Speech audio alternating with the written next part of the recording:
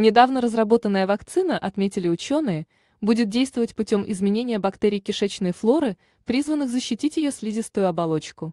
Пищеварительная микробиота является экосистемой из 100 миллиардов бактерий, которые находятся в организме. Они участвуют в пищеварении и борются с некоторыми токсичными отходами, также защищая человеческий организм от внешних патогенов. Другие виды кишечных бактерий стимулируют обновление кишечной стенки или синтезируют молекулы, а также природные антибиотики. Предыдущие исследования уже выявили связь между микробиотой и кишечными расстройствами. У людей, страдающих ими, отмечают эксперты, действительно наблюдалось меньше разнообразия в их пищеварительной экосистеме. Прежде всего у них было зафиксировано повышенное количество флагелина, микроорганизмов, продуцирующих белок.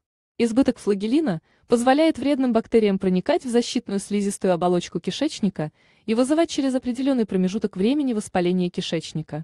В ходе исследования флагелин был введен непосредственно в брюшную полость мышей. Это действие стимулировало выработку антител против флагелина, которые уже присутствуют в их организме.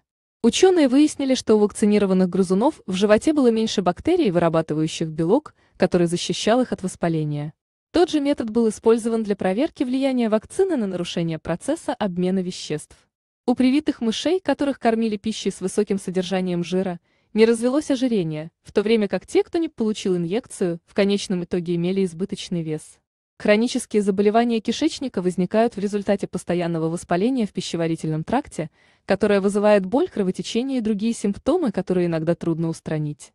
В то время как некоторые пациенты наблюдают улучшение, другие продолжают страдать.